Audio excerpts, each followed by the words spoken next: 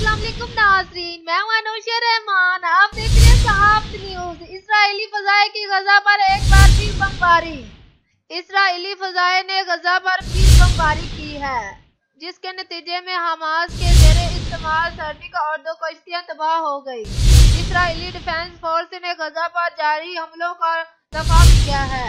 Israeli force ने अल्जाम ऐद किया कि हमास इनके स्पोर्टी निज़ाम पर हमले के लिए कोशा है। वो अपने शहरियों को दफ़ा करते रहेंगे। प्लीज़ वीडियो को लाइक और चैनल को सब्सक्राइब कीजिए।